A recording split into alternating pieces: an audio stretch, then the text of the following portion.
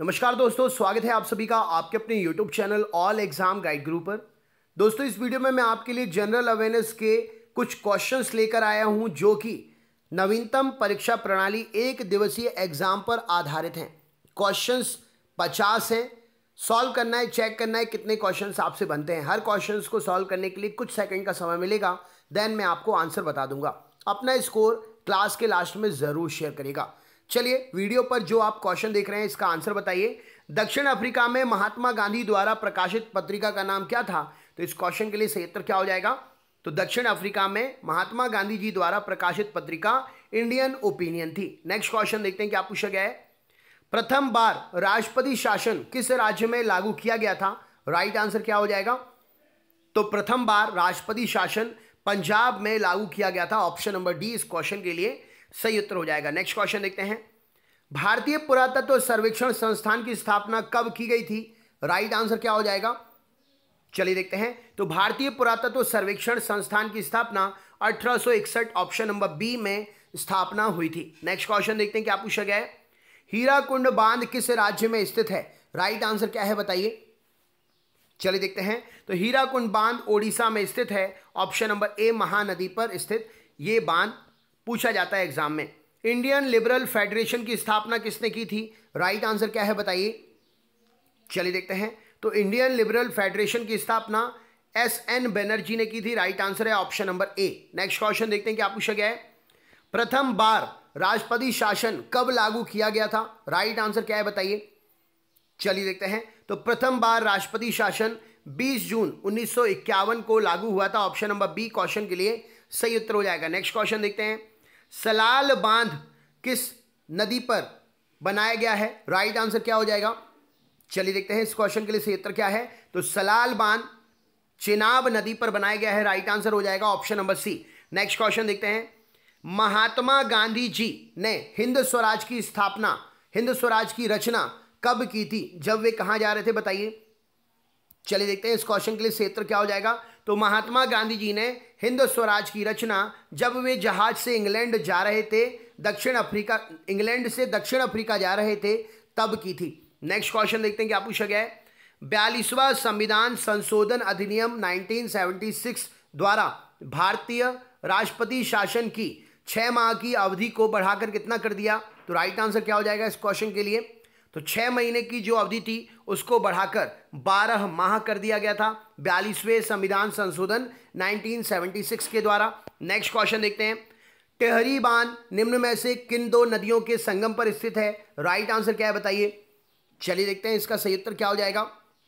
बात हो रही है टिहरी बाँध की। तो टिहरी बाँध भागीरथी और भीलांगना नदी के संगम पर स्थित है। नेक्स्ट क्वेश्चन देखते हैं क्या पूछा गया है। संगीत नाटक अकेडमी कहाँ पर है बताइए। चलिए देखते हैं इसका राइट आंसर क्या हो जाएगा।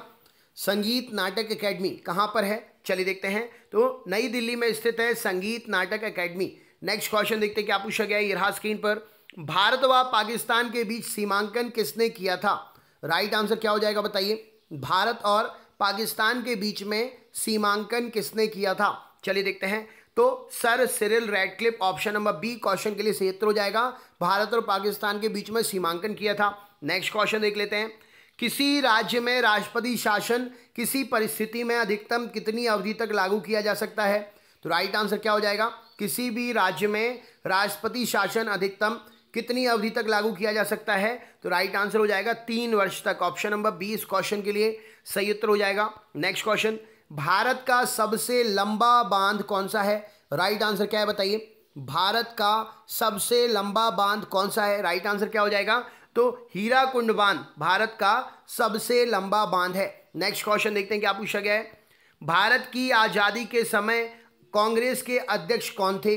भारत की आज़ादी के समय कांग्रेस के अध्यक्ष कौन थे? तो राइट आंसर क्या हो जाएगा? भारत की आज़ादी के समय कांग्रेस के अध्यक्ष जे बी कृपलानी जी थे। नेक्स्ट क्वेश्चन देख लेते हैं। संसद द्वारा प्रस्ताव पारित होने की किसी, प्रस्ताव पारित होने पर किसी राज्य में राष्ट्रपति शासन एक बार में कितने समय के लिए लागू होता है? तो राइट आंसर क्या हो जाएगा?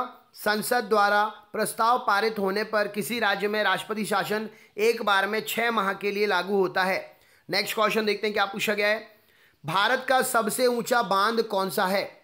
भारत का सबसे ऊँचा बाँध कौन सा है? चलिए देखते हैं। तो भारत का सबसे ऊँचा बाँध टिहरी बाँध है ऑप्शन नंबर डी सही उत्तर हो जाएगा। नेक्स्ट क्वेश्चन देखते हैं। निम्नलिखित में से कौन भारत छोड़ो आंदोलन में शामिल नहीं था? राइट आंसर क्या है बताइए? निम्नलिखित में से कौन भारत छोड़ो आंदोलन में शामिल नहीं था? तो सही उत्तर क्या हो जाएगा? भीमराव अंबेडकर जी भारत छोड़ो आंदोलन में शामिल नहीं थे। नेक्स्ट क्वेश्चन देखते हैं। किसी राज्य में राष्ट्रपति शासन के लागू हो जाने पर निम्न में से किन कृत्यों के अलावा राज्य प्रशासन के सभी कृत्य संघीय नियंत्रण में चले जाते हैं? तो राइट आंसर क्या हो जाएगा बताइए। किन को छोड़कर बाकी सब केंद्र नियंत्रित करने लगता है? तो इसका सही उत्तर हो जाएगा, न्याय प्रणाली को छोड़कर राज्य की बाकी सब कुछ राज्य का केंद्र ही नियंत्रित करता है। नेक्स्ट क्वेश्चन देखते हैं, क्या पूछा गया है? निम्न में से किस नदी के तट पर गोरखपुर स्थित है? राइट आंसर क्या है बताइए? गोरखपुर किस नदी के तट पर स्थित है? सही उत्तर क्या हो जाएगा? तो गोरखपुर राप्ती नदी के तट पर स्थित है राइट आंसर हो जाएगा। नेक्स्ट क्वेश्चन देखते हैं। राष्ट्रीय फ़िल्म एवं विकास निगम की स्थापना किस वर्ष हुई बताइए? राष्ट्रीय फ़िल्म एवं विकास निगम की स्थापना किस वर्ष हुई? चलिए देखते हैं। तो राष्ट्रीय फ़िल्म एवं विकास निगम की स्थापना 1980 ऑप्शन नंबर बी क्वेश्चन के लिए सही उत्तर हो जाएगा 1980 में हुई। इनकलाब का नारा इनकलाब जिंदाबाद का नारा किसने दिया? राइट आंसर क्या हो जाएगा? इनकलाब जिंदाबाद का नारा। किसने दिया? तो इनकलाब जिंदाबाद का नारा भगत सिंह के द्वारा ऑप्शन नंबर डी सही उत्तर हो जाएगा। नेक्स्ट क्वेश्चन, किसी राज्य में सामान्यतः किसके परामर्श से राष्ट्रपति शासन लागू किया जाता है? राइट आंसर क्या हो जाएगा? किसी राष्ट्र में सामान्यतः किसके परामर्श से राष्ट्रपति शासन लागू होता है? तो राज्य में राज्यपाल की परामर्श से राष्ट्रपति शासन लागू होता है। नेक्स्ट क्वेश्चन, नासिक किस नदी के किनारे स्थित है? राइट आंसर क्या हो जाएगा बताइए। नासिक जो है, किस नदी के किनारे स्थित है? तो नासिक गोदावरी नदी के किनारे स्थित है। नेक्स्ट क्वेश्चन देखते हैं। गांधी जी ने भारतीय राष्ट्रीय कांग्रेस के अध्यक्ष कितनी बार बने हैं? सही उत्तर क्या हो जाएगा बताइए। गांधी जी भारतीय राष्ट्रीय कांग्रेस के अध्यक्ष कितनी बार बने हैं? तो राइट आंसर हो जाएगा ऑप्शन एक बार इस क्वेश्चन के लिए उत्तर हो जाएगा option number A next question देखते हैं क्या पूछा गया है। राज्य में राष्ट्रपति शासन से तात्पर्य, राज्य में किसके शासन से है? राइट आंसर क्या हो जाएगा? राज्य में राष्ट्रपति शासन का मतलब राज्य में किसका शासन? तो राज्य में राज्यपाल का शासन मतलब राज्य में राष्ट्रपति शासन। नेक्स्ट क्वेश्चन देखते हैं। साबरमती नदी किस शहर के किनारे बहती है? राइट आंसर क्या है बताइए? साबरमती नदी किस शहर के किनारे बहती है? सही उत्तर क्या हो जाएगा? चलिए देखते हैं। तो अहमदाबाद शहर ऑप्शन नंबर बी क्वेश्चन के लिए सही उत्तर हो जाएगा। साबरमती नदी बहती है। नेक्स्ट क्वेश्चन देखते हैं। भारत में जब क्रिप्स मिशन आया, उस समय भारत का वायसराय कौन था? भारत में जब क्रिप्स मिशन आया, उस समय भारत का वायसराय कौन था? चलिए देखते हैं। तो lord Linlithgow option number B question के लिए सही उत्तर हो जाएगा। जिस समय भारत में क्रिप्स मिशन आया, उस समय भारत का वायसराय था। नेक्स्ट क्वेश्चन संविधान के किस अनुच्छेद के तहत राज्यों में संवैधानिक तंत्र के विफल होने पर राष्ट्रपति शासन लागू किया जाता है? तो राइट आंसर क्या हो जाएगा? राष्ट्रपति शासन कौन से अनुच्छेद के अंतर्गत लगता है? तो सही उत्तर हो जाएगा अनुच्छेद तीन छप्पन। ऑप्शन नंबर डी इस क्वेश्चन के लिए सही उत्तर हो जाएगा। नेक्स्ट क्वेश्चन कावेरी नदी के तट पर कौन सा शहर स्थित है? सही उत्तर क्या है बताइए? कावेरी नदी के तट पर कौन सा शहर स्थित है? तो चलिए देखते हैं, इसका राइट आंसर हो जाएगा। तिरुचिरापल्ली शहर कावेरी नदी के तट पर स्थित है। अगला क्वेश्चन देखते हैं, क्या पूछा गया है? Who lives if India dies किसकी उक्ति है? राइट आंसर क्या हो जाएगा? Who lives if India dies किसने लिखी है ये? राइट right आंसर क्या हो जाएगा?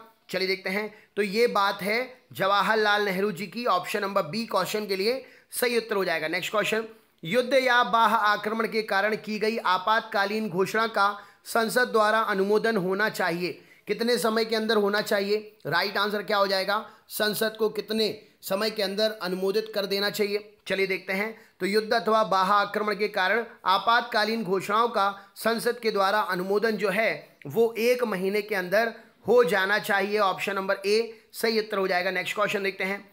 अयोध्या किस नदी के तट पर स्थित है? राइट आंसर क्या है बताइए? अयोध्या किस नदी के तट पर स्थित है? तो राइट आंसर हो जाएगा, सरयू नदी के तट पर स्थित है अयोध्या। नेक्स्ट क्वेश्चन देखते हैं। किसने कहा था मध्य रात्रि के टकोर पर जब संसार सोता है भारत अपने जीवन व स्वतंत्रता के लिए जाग उठेगा। ये बात किसकी है? राइट आंसर क्या हो जाएगा? चलिए देखते हैं। तो ये बात जवाहरलाल नेहरू ने कही थी। राइट आंसर हो जाएगा option number B next question देखते हैं।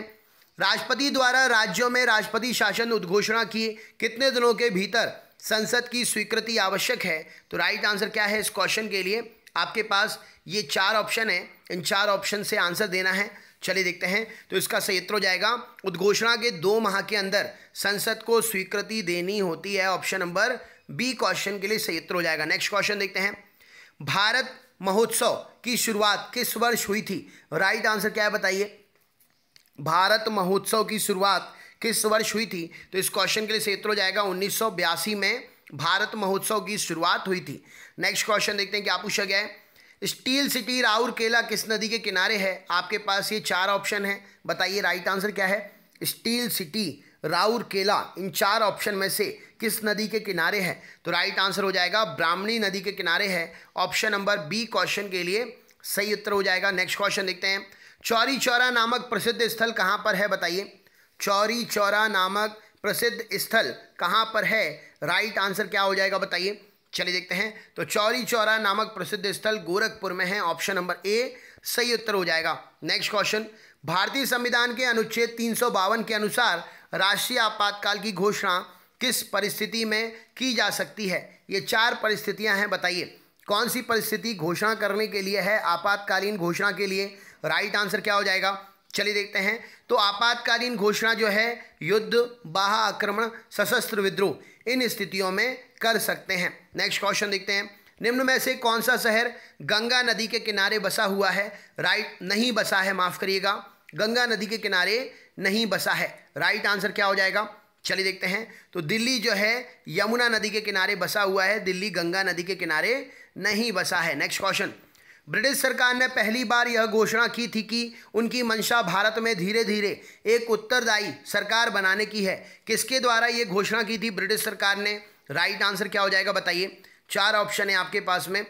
चलिए देखते हैं, इस क्वेश्चन के लिए क्षेत्र हो जाएगा। तो ब्रिटिश सरकार ने पहली बार यह घोषणा की थी कि उनकी मंशा भारत में धीरे धीरे एक उत्तरदायी सरकार बनाने की है। अगस्त प्रस्ताव, अगस्त 1917 की घोषणा जो थी, उसके तहत ये बात कही गई थी। नेक्स्ट क्वेश्चन देखते हैं। गंगा नदी के किनारे स्थित सबसे बड़ा शहर कौन सा है? राइट आंसर क्या हो जाएगा? गंगा नदी के किनारे स्थित सबसे बड़ा शहर कौन सा शहर है? चलिए देखते हैं। तो कानपुर गंगा नदी के किनारे स्थित सबसे बड़ा शहर है।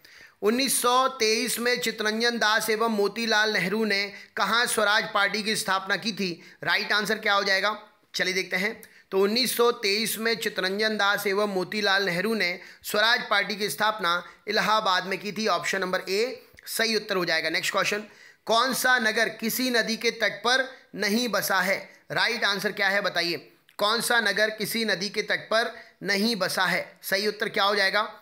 चलिए देखते हैं। तो इसका सही उत्तर हो जाएगा, भोपाल झीलों के किनारे बसा हुआ है या एक प्रकार से कहें, भोपाल में बहुत सारी झीलें हैं। भोपाल किसी नदी के किनारे नहीं बसा है।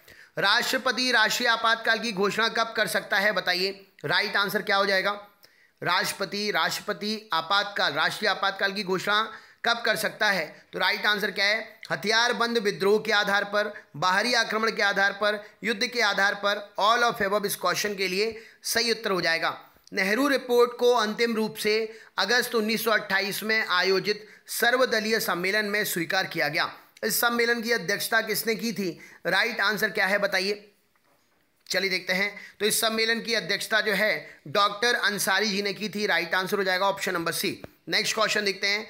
जौनपुर किस नदी के तट पर स्थित है? राइट आंसर क्या है बताइए। जौनपुर किस नदी के तट पर स्थित है? सही उत्तर क्या हो जाएगा? तो जौनपुर जो है, गोमती नदी के तट पर स्थित है। नेक्स्ट क्वेश्चन जमशेदपुर किस नदी के तट पर स्थित है बताइए। राइट आंसर क्या हो जाएगा? जमशेदपुर किस नदी के तट पर स्थित है? तो जमशेदपुर स्वर्ण रेखा नदी के तट पर स्थित है। जमशेदपुर भारत के किस राज्य में आता है बताओ?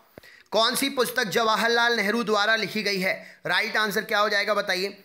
कौन सी पुस्तक जवाहरलाल नेहरू द्वारा लिखी गई है? तो राइट आंसर हो जाएगा discovery of India Jawaharlal Nehru ji के द्वारा लिखी गई है। नेक्स्ट क्वेश्चन देखते हैं। देश में दूसरी बार राष्ट्रीय आपातकाल की उद्घोषणा कब की गई थी? राइट आंसर क्या हो जाएगा बताइए। चलिए देखते हैं। तो देश में दूसरी बार राष्ट्रीय आपातकाल की उद्घोषणा तीन दिसंबर 1971 को की गई थी। ऑप्शन नंबर ए, सही उत्तर हो जाएगा। नेक्स्ट क्वेश्चन देखते हैं। उज्जैन किस नदी के किनारे है? राइट आंसर क्या है बताइए। उज्जैन किस नदी के किनारे है? राइट आंसर क्या है? तो उज्जैन छिप्रा नदी के किनारे है। Option number D, right answer हो जाएगा। Next question. जलियावाला बाग के नरसंहार के समय भारत का वायसराय कौन था? राइट आंसर क्या हो जाएगा। तो जलियावाला बाग नरसंहार के समय भारत का वायसराय लॉर्ड चैम्सफोर्ड था। नेक्स्ट क्वेश्चन आंतरिक अशांति के आधार पर अब तक कितनी बार राष्ट्रपति आपातकाल, राष्ट्रीय आपातकाल की उद्घोषणा की जा चुकी है? राइट आंसर क्या हो जाएगा बताइए। तो आंतरिक आंतरिक अशांति के आधार पर अब तक जो है, एक बार जो है उद्घोषणा की जा चुकी है। राइट आंसर हो जाएगा ऑप्शन नंबर एक बार। और ये है आपका सरप्राइज़ क्वेश्चन सूरत किस नदी के किनारे स्थित है? कमेंट बॉक्स में कमेंट करके बताइए कैसा लगा वीडियो आपको। वीडियो की लिंक को ज़्यादा से ज़्यादा शेयर करिएगा। वीडियो को लाइक ज़रूर करें। हमारी टीम और हमारा मनोबल बढ़ा रहता है। साथ साथ दोस्तों, आप सभी से निवेदन है, आप चैनल को सब्सक्राइब कर लें और बेल आइकन ऑन कर लें। ऑल वाला नोटिफिकेशन ऑन कर लें, जिससे आपको हमारे सारे वीडियोस के नोटिफिकेशन मिले। चैनल पर रोज़ सुबह छः बजे, सुबह दस बजे और शाम को सात बजे वीडियो अपलोड होते हैं। आप जो भी टॉपिक का वीडियो पढ़ना चाहते हैं, देखना चाहते हैं करेंट अफेयर्स जनरल अवेयरनेस और साइंस में से, आप हमें कमेंट करें। हम आपके कमेंट पर वीडियो की लिंक दे देंगे। हमारे पास 2500 से ज़्यादा अलग अलग टॉपिक के वीडियो हैं, जो देखकर पढ़ के आप अपने नोट्स बना के आने वाली परीक्षा की तैयारी कर सकते हैं। तो आप जिस भी सब्जेक्ट का वीडियो चाहते हैं, इन तीन टॉपिक्स से, आप बोलिएगा, हम ज़रूर जल्द से जल्द आपके कमेंट पर रिप्लाई करते हुए वीडियो की लिंक शेयर कर देंगे। वीडियो को ज़्यादा से ज़्यादा शेयर करिएगा। अधिक से अधिक छात्रों तक ये क्वेश्चंस पहुँचे, तभी हमारी मेहनत सफल मानी जाएगी।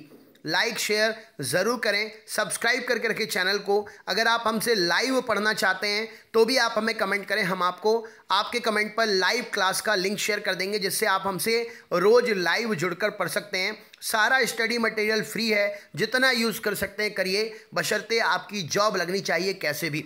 चलिए दोस्तों, मिलते हैं नेक्स्ट सेशन में। जो भी आपका कमेंट है, ज़रूर शेयर करिएगा। बहुत बहुत धन्यवाद। Thank you so much